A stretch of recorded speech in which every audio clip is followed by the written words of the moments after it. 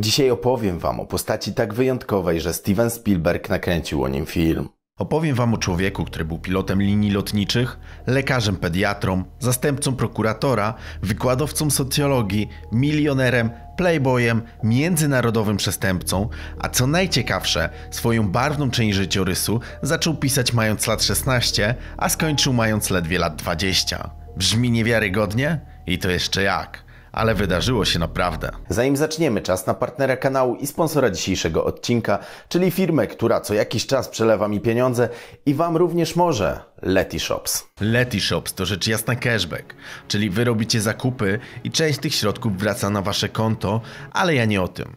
Dzięki Leti Shops otrzymacie cashback z blisko 3300 sklepów internetowych, takich jak AliExpress, Allegro, EuroRTV, CCC, od kilku dni Zalando, ale ja również nie o tym chciałem mówić.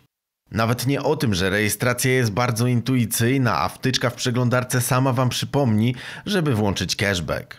Bo najważniejszą informacją jest fakt, że jeśli nie macie jeszcze konta na Letyshops, to po założeniu go na 7 dni otrzymacie wariant premium, który daje Wam zwiększoną stawkę cashbacku i uwaga, o 30%. Policzcie, jaką promocję możecie sobie zrobić przy zakupach. Ważne również, aby potwierdzić swój adres mailowy, bo będziecie tam dostawać leti kody, czyli wielokrotnie zwiększony cashback. Jeśli z kolei macie już konto lub będziecie mieć, to czeka na Was program lojalnościowy, dzięki któremu alegorycznie do promocji dla nowych użytkowników będziecie mieć zwiększony cashback kolejno o 10, 20 i 30%. Wszystkie niezbędne linki znajdują się w pierwszej linijce opisu pod tym filmem. Korzystanie z Letyshops nic nie kosztuje, a sporo możecie zaoszczędzić. Tymczasem zapraszam Was na historię Franka Williama Abignale'a.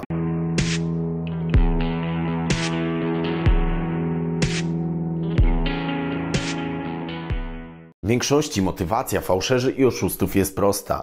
Chcą w jak najkrótszym czasie zarobić jak największe pieniądze.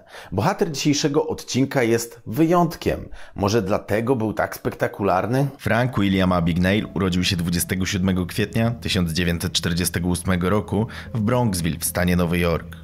Tam też spędził pierwsze 16 lat życia. Był trzecim spośród czworga dzieci państwa Abigail.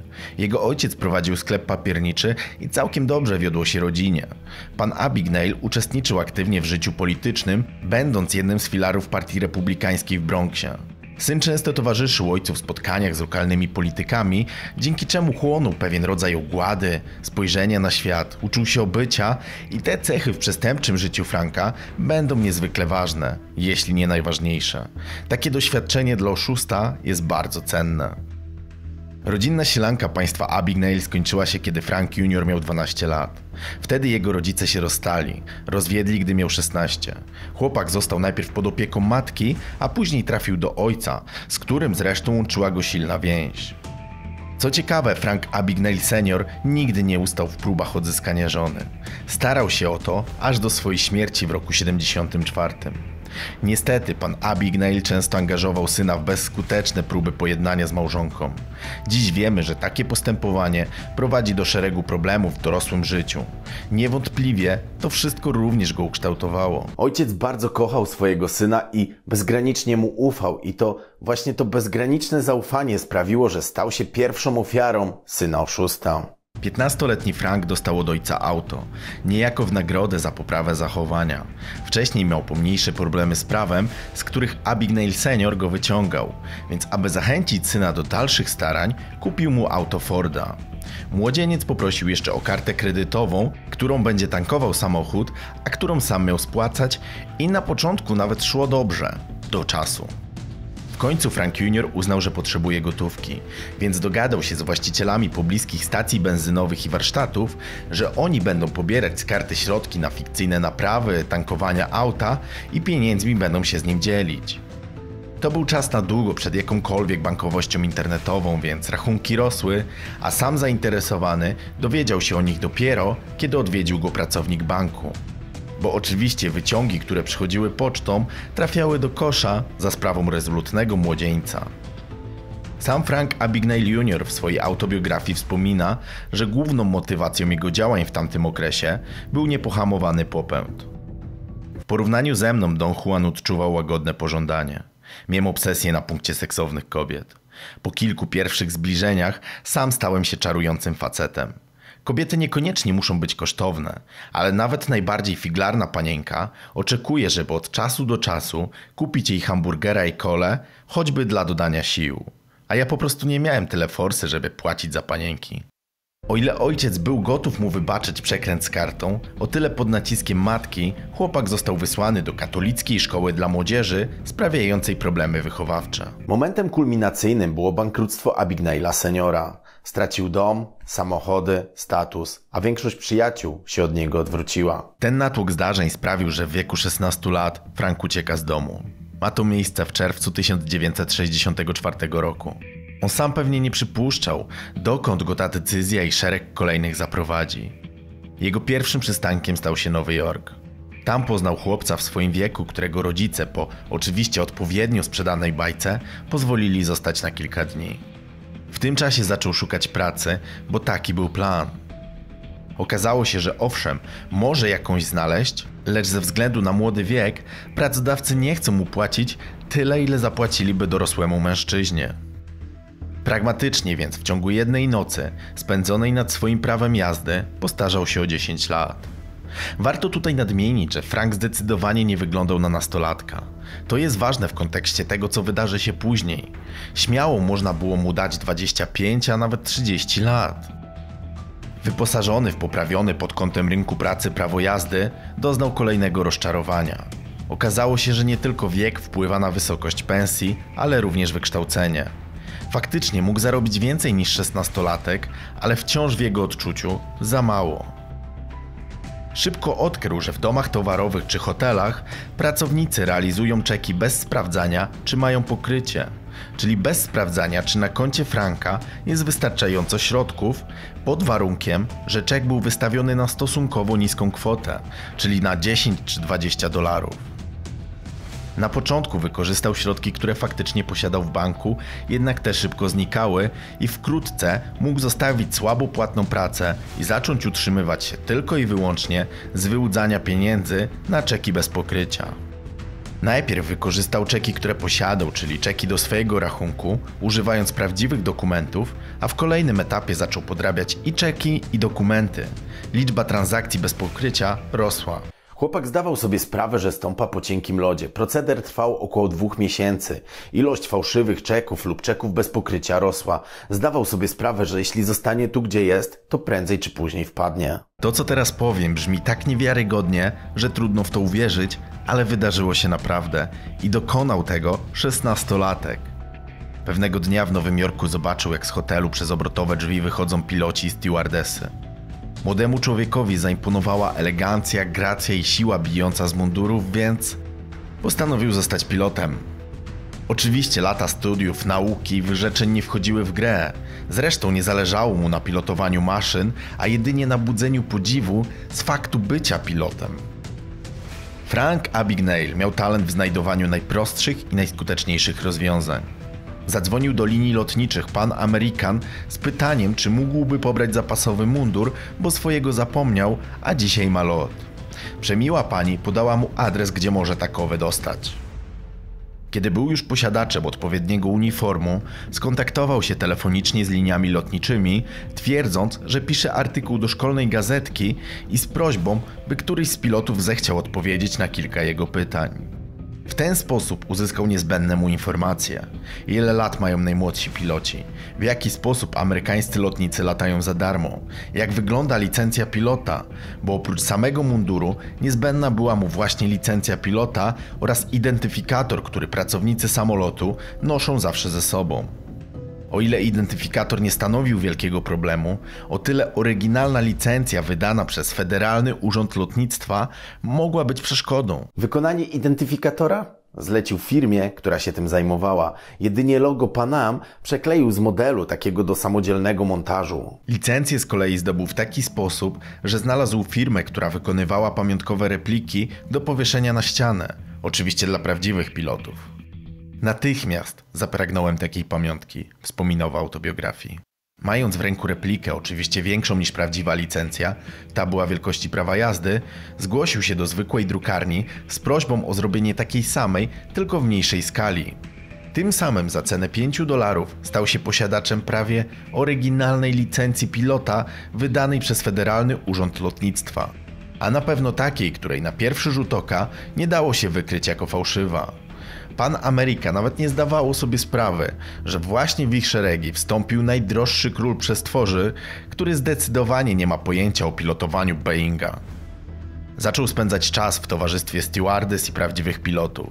Oczywiście, jako baczny, spostrzegawczy obserwator, chłonął ich slang, sposób bycia. Na początku rzadko się odzywając, z czasem coraz więcej.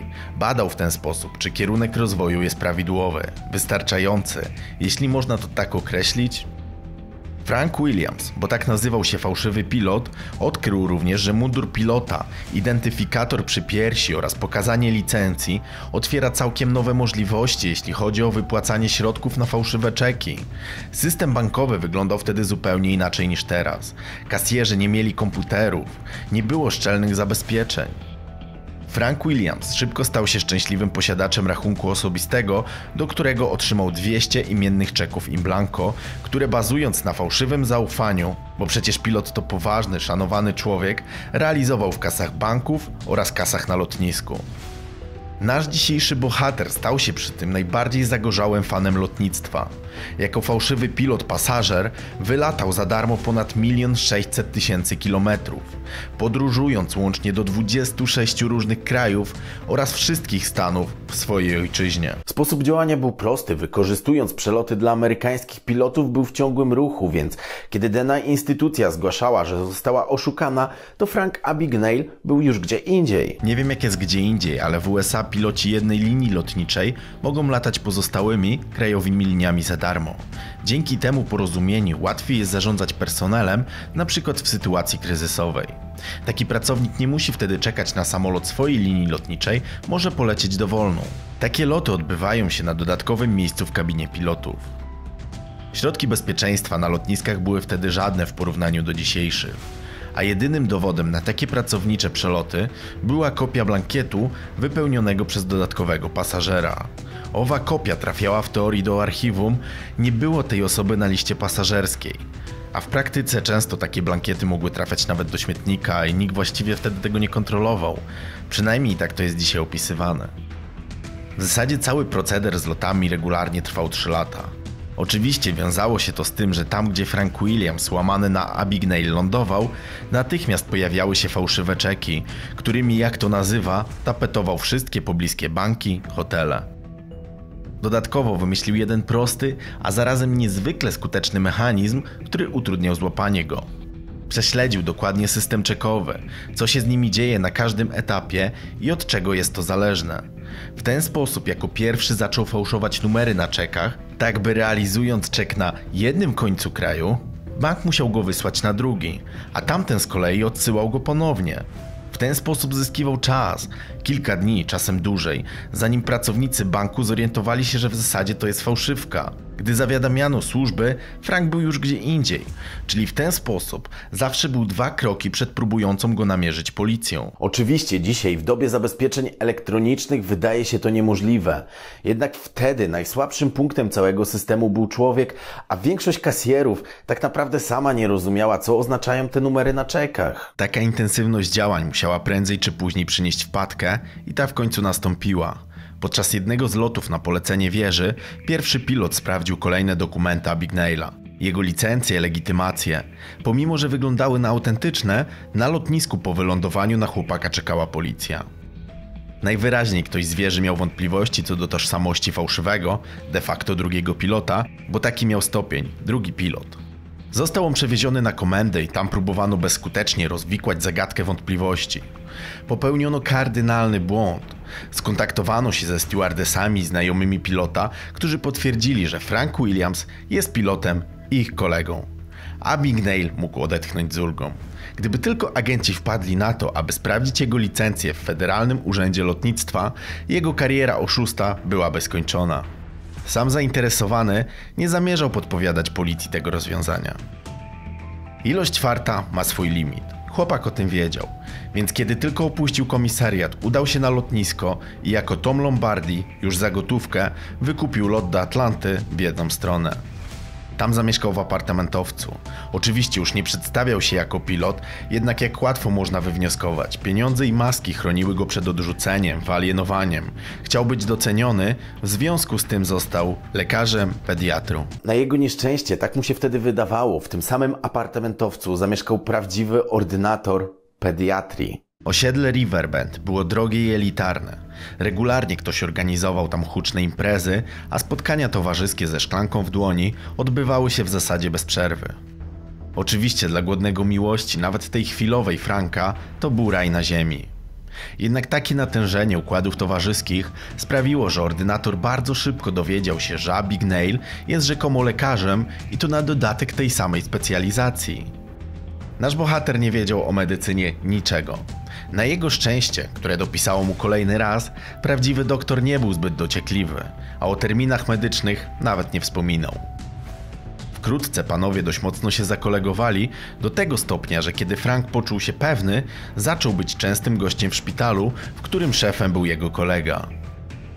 Poznał personel i klasycznie zaczął chłonąć ich nomenklaturę, sposób bycia, a także często przesiadywał w bibliotece, czytając o podstawach medycyny. Ten ostatni fakt tak zaimponował wszystkim, którzy myśleli, że Abigail jest lekarzem, który w wolnym czasie podnosi swoje kompetencje, że wkrótce administrator oddziału zaproponował mu, aby przyjął w zastępstwie na krótki okres posadę lekarza dyżurnego na nocnej zmianie. Jeśli pomyśleliście, że żaden oszust nie zatrudniłby się jako lekarz na oddziale dziecięcym, to macie zbyt mocną wiarę w ludzi. Ale uspokoję was. Frank Abigney przez 11 miesięcy na posadzie lekarza dyżurnego na oddziale pediatrii nie leczył żadnego dziecka. Zarządzał personelem stażystów i pielęgniarek, którzy odwalali za niego całą robotę. De facto stażyści go za to uwielbiali. Przecież dzięki niemu mogli poczuć się jak prawdziwi lekarze. Sądzili, że darzy ich tak ogromnym zaufaniem, a w rzeczywistości nie miał pojęcia, co oni robią i byli dla niego jedyną deską ratunku. Faktycznie przez cały okres wydarzyła się tylko jedna historia, która była niebezpieczna. Na jednym z dyżurów do pokoju lekarskiego wbiegła pielęgniarka, krzycząc: Doktorze, mamy fioletowe dziecko. I choć Frank kompletnie nie miał pojęcia, co to może oznaczać, wkrótce przekonał się, że chodzi o dziecko, które ma poważne problemy z oddychaniem. I tym razem wyręczyli go starzyści. Jednak jak sam wspomina, ta sytuacja uświadomiła mu, że to wszystko zabrnęło za daleko. Na szczęście dla zdrowia dzieci wkrótce znaleziono etatowego lekarza i zastępstwo dobiegło końca. Dość zabawne jest, że personel bez wiedzy, że był oszustem, wspominał go naprawdę dobrze. Wkrótce po wyjeździe z Atlanty i zakotwiczeniu na jakiś czas u znajomej, okazało się, że Abigail ma dyplom prawa uzyskany na Uniwersytecie Harvarda i jeszcze nie miał przyjemności pracować w zawodzie, co wkrótce miało się zmienić i to na rzecz biura prokuratora. Spotkał człowieka, który pracował właśnie tam jako asystent i stwierdził, że mają wolne etaty, a absolwenta Harvardu to oni jeszcze nie mieli. W USA, aby wykonywać pracę prawnika, przynajmniej wtedy tak było, w innym stanie niż ten, który wydał dyplom, należy zdać specjalny egzamin. O ile dyplom ukończenia prawa Frank mógł podrobić, o tyle egzamin musiał zdać. Nie było rady. Miał trzy podejścia. Za pierwszym razem po kilku tygodniach nauki oblał. Za drugim podobnie, choć był już bliżej minimalnego wyniku, a za trzecim się udało. Tym samym Frank William Abigail Jr. do swojego bogatego CV mógł wpisać pracę asystenta w biurze prokuratora. Faktycznie nie zajmował się niczym skomplikowanym, porządkował dokumenty, robił kawę i tylko epizodycznie występował w sądzie.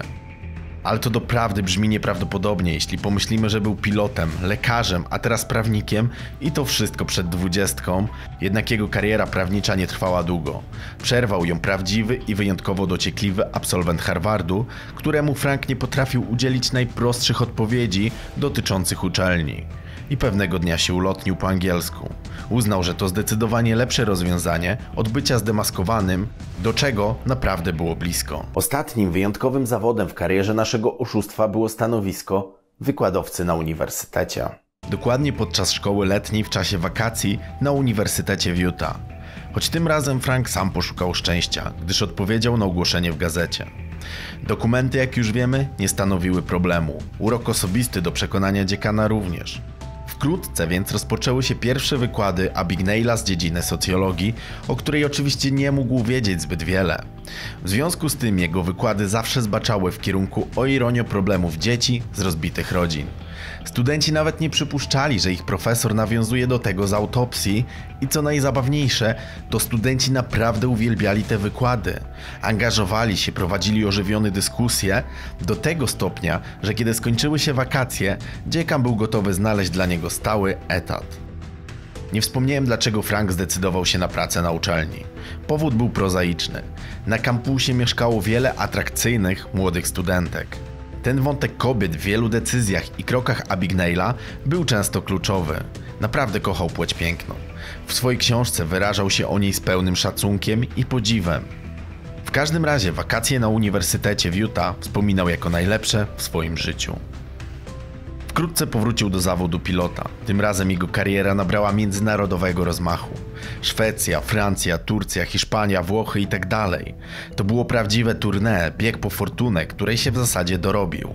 Cały jego szwindel oszacowano na blisko 3 milionów wczesnych dolarów. Po drodze został rozpoznany, zatrzymany i wypuszczony za kaucją. Przez ludzki błąd wyszedł z więzienia w środku nocy za 5 tysięcy dolarów wpłaconych przez lokalnego adwokata, który zajmował się właśnie tym. Ów adwokat myślał, że to pilot, nie wiedział kim jest człowiek, któremu pomaga wyjść oraz że czek na 5500 dolarów, czyli kaucję plus prowizja, jest fałszywy. Dodam, że Frank nie okradał zwykłych ludzi, więc człowiek, który pomógł mu wyjść z aresztu, po jakimś czasie otrzymał pocztą zwrot kaucji. A jak skończyła się kariera Franka? Frank Abignel po zgromadzeniu odpowiedniej fortuny postanowił się zatrzymać. Wybór padł na miejscowość we Francji, skąd pochodziła jego matka, Montpellier. Oczywiście miał fałszywe dokumenty, tym razem na nazwisko Robert Monjo, wzięty pisarz i scenarzysta z Los Angeles. Bo Frank Abignale mógł być każdym tylko nie sobą każdym razie pewnego razu został rozpoznany przez anonimowego pracownika linii lotniczych, który zgłosił jego miejsce pobytu. Został aresztowany podczas robienia zakupów. Tym razem już nie było mowy o kaucji. Czekał go proces. Jak się okazało, nie jedyny. Frank Abignate został skazany na rok więzienia we Francji, gdzie warunki były paskudne. Zamiast toalety wiadro, brak łóżka w celi, higieny. Tak spędził pół roku. Po tym czasie został wysłany do Szwecji w ramach ekstradycji, gdzie otrzymał kolejną karę. Tym razem za przestępstwa na terenie tego skandynawskiego kraju. Szwedzki system resocjalizacji jest bardzo wyjątkowy. Cele wyglądające jak pokoje z osobną łazienką, dobre jedzenie. Można powiedzieć, że więźniowie żyją trochę jak w hotelu. Pod koniec kary w Szwecji okazało się, że Frank William Abignell Jr. będzie wysyłany od kraju do kraju, w każdym kolejnym sądzony za to samo popełnione na danym terytorium i w zasadzie w ten sposób resztę życia spędzi w europejskich więzieniach. Taka była perspektywa. Kolejne państwa ustawiały się w kolejce. Szwedzkie władze pomimo jego starań nie chciały mu wydać azylu i tym samym zbliżała się nieuchronna ekstradycja przystanek Włochy. Życie uratował mu szwedzki sędzia, który zlitował się nad nim i w porozumieniu z człowiekiem z amerykańskiej ambasady anulował jego paszport. Co oznaczało, że jedyną drogą, jaką może przebyć ze Szwecji, jest ta w kierunku Stanów Zjednoczonych, czyli deportacja.